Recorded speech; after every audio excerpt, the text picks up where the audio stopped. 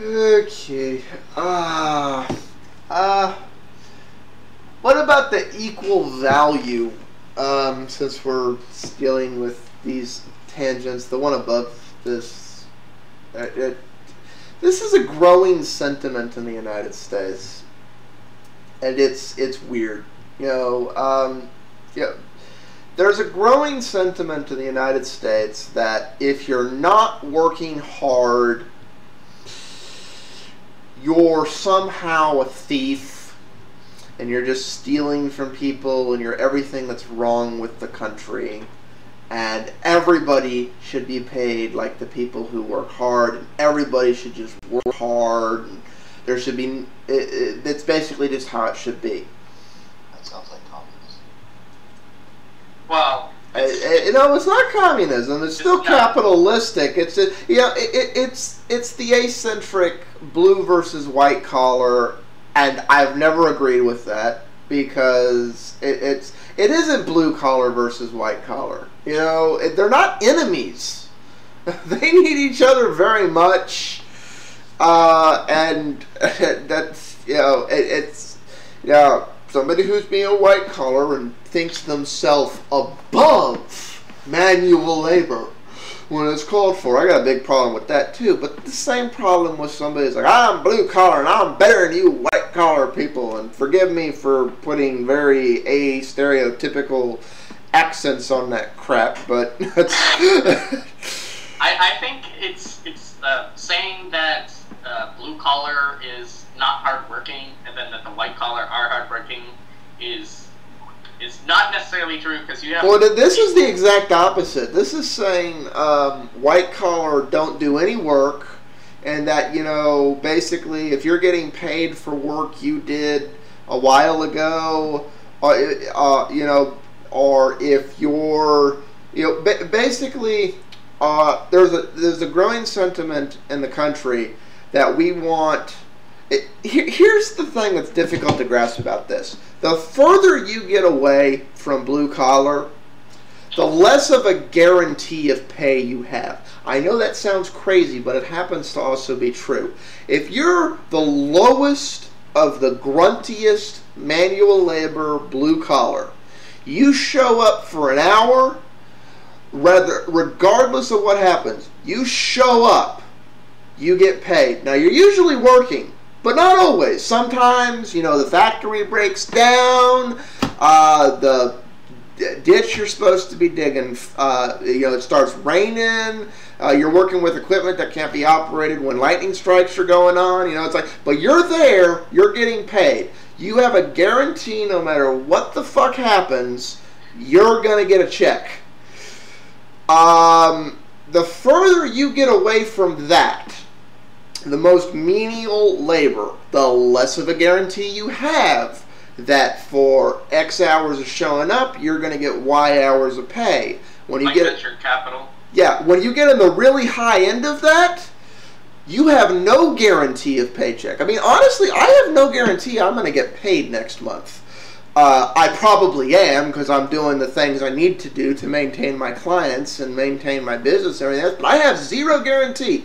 All of my clients could go out of business and I'm just fucked. And I'm going to have to live entirely off my savings and everything else and float that boat long enough to go find new clients and not and not starve to death and pay all my bills because my bills, obligations, and everything else don't go away in the meantime.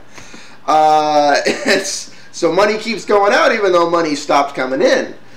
Um, it, it, and it's one of those. I'm like, um, I, I, I, have no idea how you bridge the gap between those two. I just and I I'm not even sure the the sentiment is necessarily wrong because somebody shouldn't get paid for doing nothing. But where do you draw the line between the two? You know, it's Well, it, it sounds like this could tie in a little bit to people having patents and copyrights forever. yeah, that and that's actually where this comment that I posted here was made on. It was Yeah, indirectly I- onto that. I agree that they should be.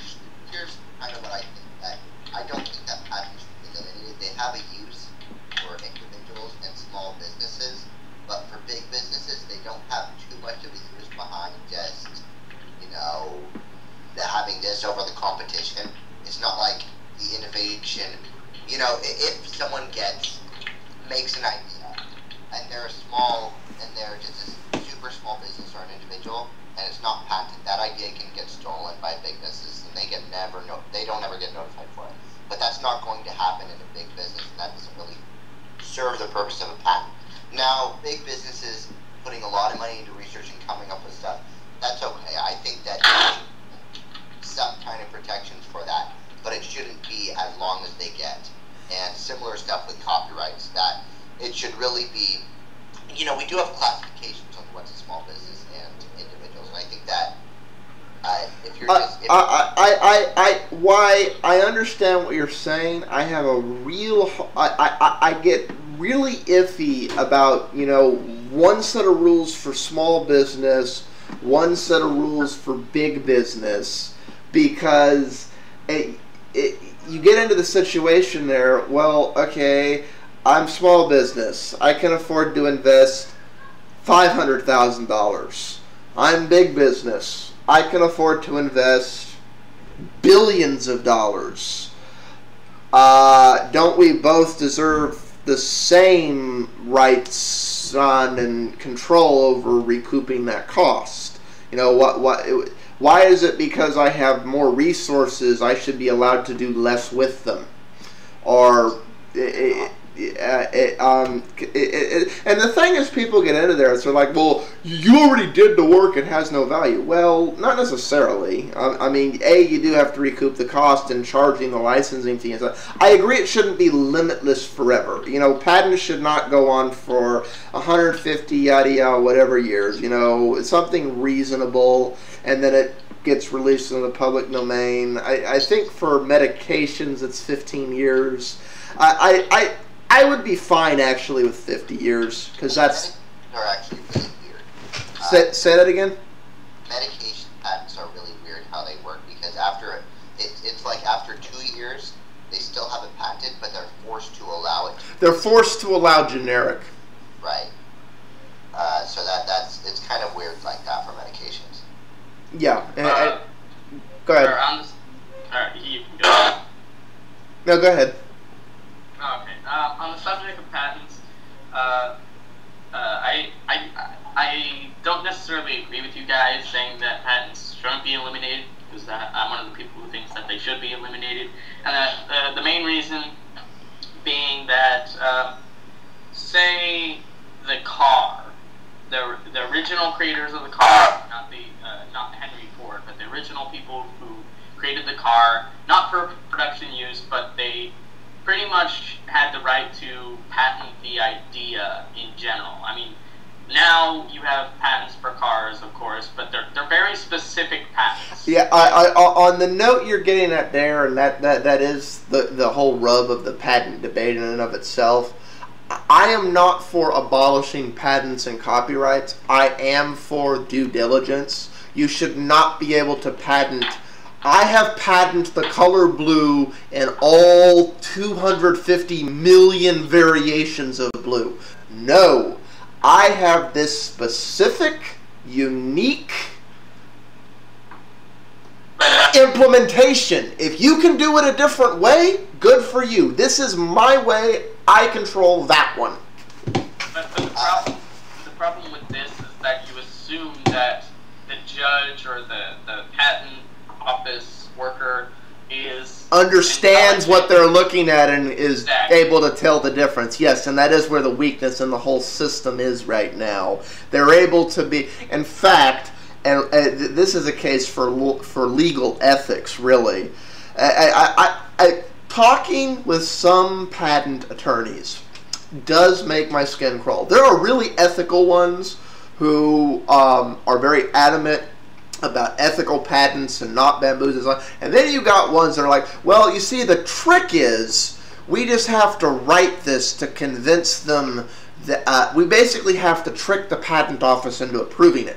And they think this is a good thing. They're like, well, you know, the law allows for it. I'm just, I'm just doing what the law says I have to do to get this approved. I'm like, okay, if you're having to bamboozle the patent office and trick them into not realizing that the color blue is the color blue, don't you think that's a patent that shouldn't be approved in the first place? Oh no, you see, I, I just have to convince them that, that sky isn't blue and that and that blue is indigo, and and, and then I, I invented it. But I, you know, and the pat, and the patent office doesn't have the resources to combat that. It's personally, I would not be against. Uh, figuring out which lawyers have this loose set of ethics and disbarring them. well, I have, I have, a question for the person that believes that we shouldn't have patents.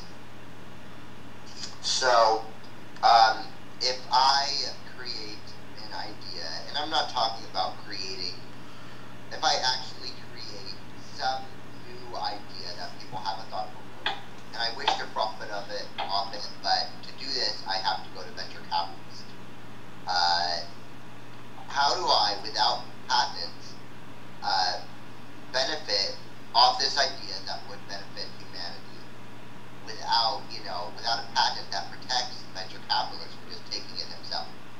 Uh, I think what, I mean, a sort of temporary solution, because we do have a very screwed up system in this respect, that what we could do is have patents apply for uh, not a very short period of time, but a period of time which is enough to when it passes, it's still viable and can still benefit everyone.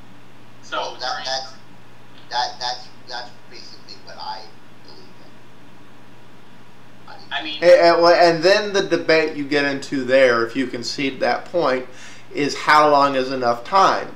I mean, you know, if the investment is $10 billion and you can only have a patent for five years, well, that's that means you have to recoup two point a minimum of two point five billion dollars a year. Uh, that's a pretty damn expensive product. it, these companies who spend these ten billion dollars to discover one thing, that, that doesn't mean that this one product is worth ten billion dollars because they weren't specifically trying to discover this one thing. I don't think that research and development, we should really work so much about having. It's not.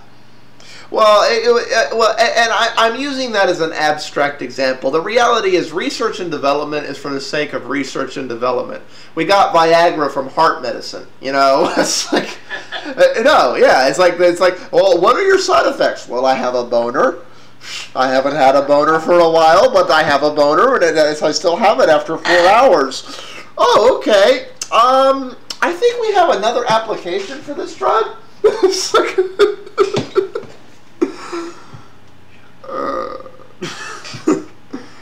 well, anyway, so there we need some system to protect people who have new ideas, who are not big companies that can market this. Uh, you know, because if a big company, if say, if I'm Google and I make an idea, and Microsoft also implements my idea, well, I, as Google, have the money to market this, to make it different, to make it better, enough that once I have the market share, I can make money off people's trust uh, rather than having the new product. So the yeah. amount of patent is really the amount that you need people's trust for that stuff. Well, and then it's the other thing of at the end of the day, what what what you're doing with the patent process, and the patent process is really being used to do the exact opposite today. But the idea behind it is that you protect the innovation so that you can benefit from it. You know, the perfect example uh, because the okay, say I say something gets made that makes either innovates and and innovation really is what patents for protecting more than invention. I, I create an innovation that makes something an order of magnitude better, in which people are either uh, going back to like where we started, they're they have to do less effort to get the same thing. It does something for them, or they're able to get more done with the same amount of effort. Um, and basically, if I didn't have the patent, the moment I show my idea off, everybody just copies it. You know, um, and, and, and th- that's wrong because I, I spent, you know, if I choose to just give it away. That's my choice. But if I want to get something out of that, uh, that's not wrong. You know, that's me going, I figured this out and I would love to share it. But I have this tendency to want to eat. Uh, so let's arrange some type of barter for that thing. You know, I eat, you get my innovation, and have don't have to work as hard anymore. Works great for both of us. You know, foundation of all trade. Um, and without the patent, I have no way to enforce that. You basically go, well, thanks for the idea. Go starve now. Uh, and I'm like, well, wait a minute, wait a minute, wait a minute. I still need to eat. so, so that's that's that. I, that's why I'm saying, you know, small businesses, stuff like that. Big businesses don't have the problem where they need to eat.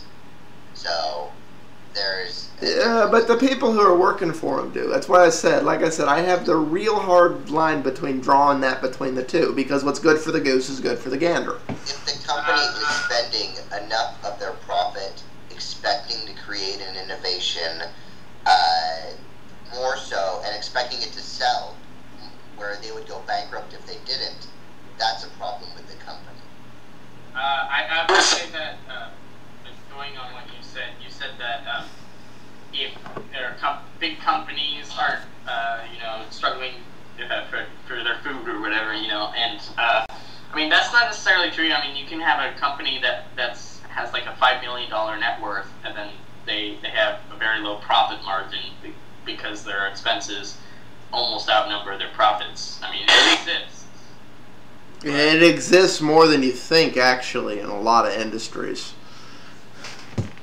There's a lot of companies that are just barely making it by, even though they're considered large.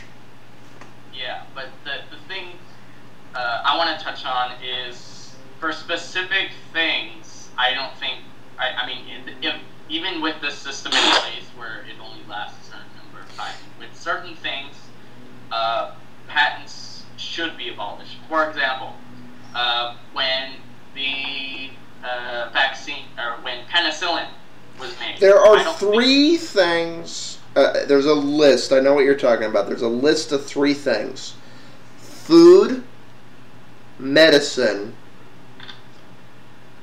and resource management. Now, resource management gets really, really tricky, but I, I, I, I, uh, I don't agree in patenting a technique for utilization of resources. I, I agree with the technique for production for sun, but not the resource itself. I can't patent gasoline. I can patent the tool I use to create the gasoline from whatever I'm creating it from. What but about I, if we had it like medicines where there's forced generics?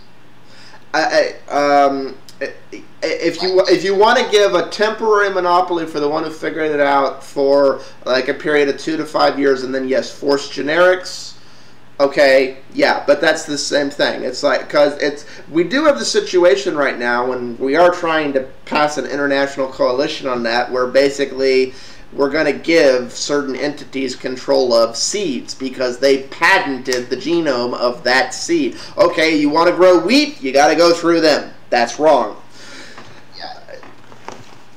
Also, um, adding on to that list of three, I don't think software should have patents either. I disagree. This is from somebody who is a firm proponent of open source and GPL and so on and so forth, but I do actually agree in the concept of software patents. However, I think the patent office needs to hire some people who actually understand software because you um, the reality is if you're creative enough with software you can create two pieces of software that serve as the same widget that have nothing to do with each other. You know one's doing it with a combination of do loops the other is a combination of for and while loops.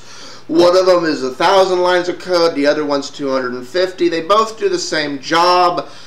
They're different animals. They work differently. They just happen to get the same job done I believe both should be able to coexist and not violate each other. you should be able to patent your very specific solution in terms of software to how you solve this problem, not that you solved the problem.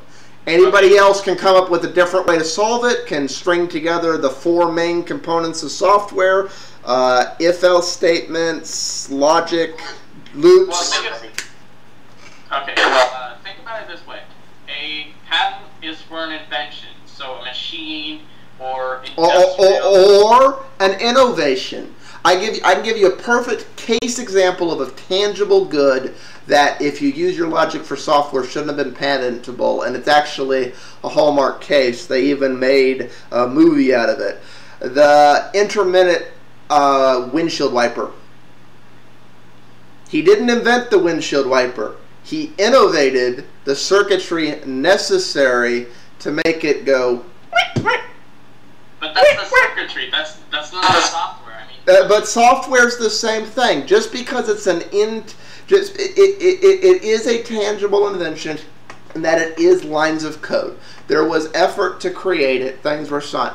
I, I, I, I you you did do work. You did create something. It, it's uh, it, it software creation is an art. it, it is as difficult as creating mechanical uh, stuff. Why doesn't copyright solve that? If I have software, I can give out software, and people, if they take my actual code, I can still sue them without the patent. They, they can't modify it either. So if they don't, if they don't, uh, if they. Oh, oh, oh, okay. Um, to do what I, I, I will agree that I will agree with that solution but however, I'm not sure you're going to like what you'd have to do to do it. You have to strengthen copyright law even more than it is now because the reality is copyright law doesn't quite necessarily give you what you need and with software it's it's difficult uh, because of, like if they don't have the source code for it and they implement the exact same thing they, they if, even if they implement it the way I did didn't know how I did it, how is that really a breach of my idea? They had to go through. They just knew what they just knew what their end product was, uh, but they still had to try to implement it, just like I did. So where's where's the need for the patent in stopping them? Because what the patent does, it stops them from having that same kind of implementation. You know, it's like. Okay, so you want to turn it all over to copyright, but then here's the thing: how do I stop uh, how do I stop the use with copyright? Copyright, I can uh, I I basically just uh, do a uh, do a takedown, but I I have a difficult time in stopping the use. Patent is different. Okay, well think about it this way. Uh, software is written. It is typed into uh, a, text editor which is compiled. So this fact alone should uh, should make it obvious that it's it should be governed under the laws of copyright rather than patent because. I mean, uh, uh, okay, but but do, uh, uh, okay, but let me play devil's advocate there. Uh, I, I, I will agree with that position, but do you really want to strengthen copyright law to be so rigid to the point that you uh, it, it's acting almost as patent law? Because right now, right now, plagiarism, why it has penalties, they're rather mild with the exception of certain cases like the DMCA and, and so on where you've committed piracy.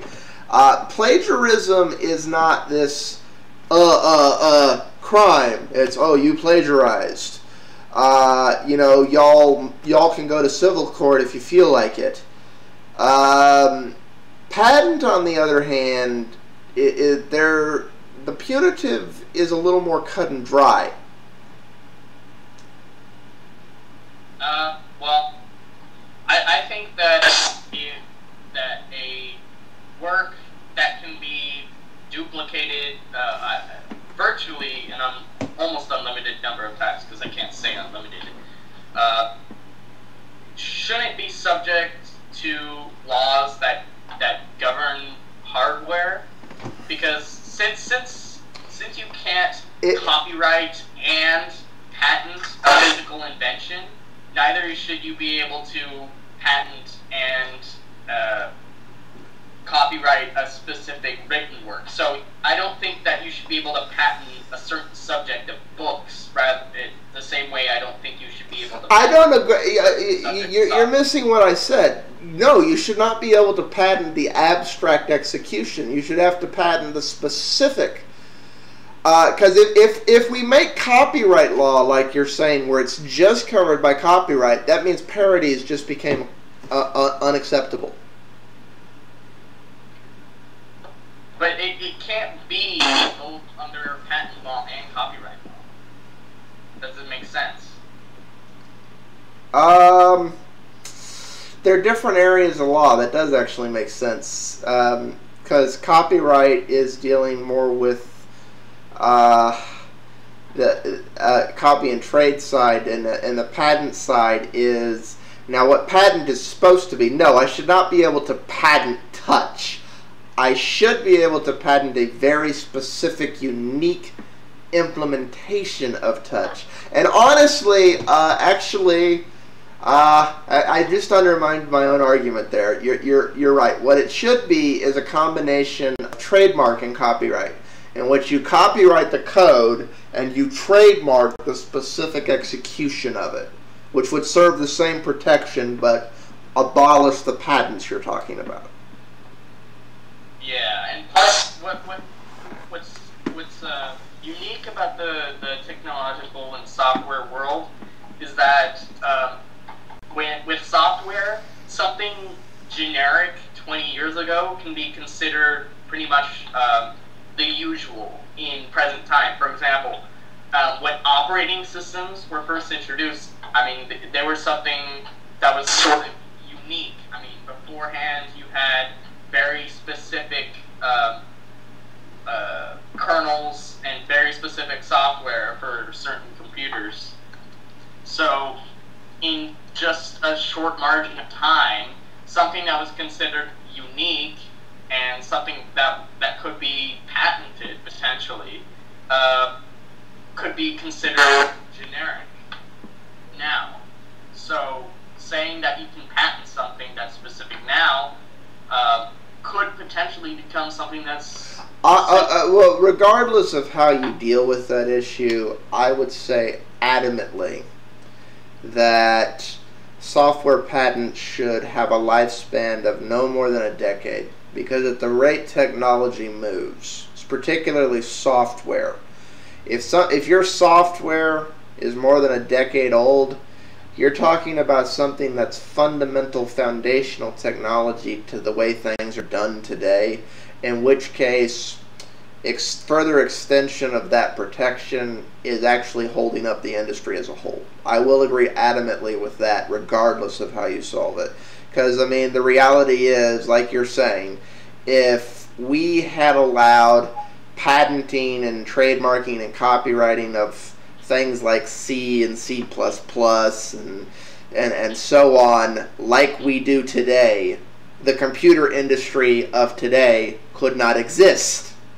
Yeah. Uh, uh, Dennis Ritchie would be the richest man in the world. He would be a trillionaire. He's dead. His estate would be worth trillions. And we would not have half the technology we have today.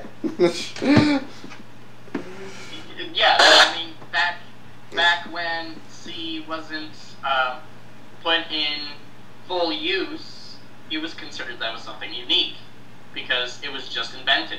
So if, if he had the right to, or if, if he patented that, we would be using uh, probably some form of Lisp dialect.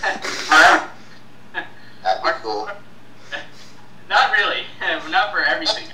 It has its use cases, but that's that's another that's another. Th- that that would be very geekish of us. uh, okay.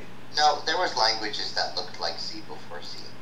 Um, it wasn't first of its kind to look. Uh, yeah, I, I, was just using those as an example. I, I, God, I hear some of these old timers talk about shit. I mean, apparently uh, apparently, with some of the really fundamental computing languages, you you could actually modify stuff without a compiler. You could just like put pointers in, when you were doing like the punch card systems. You could just put pointers in.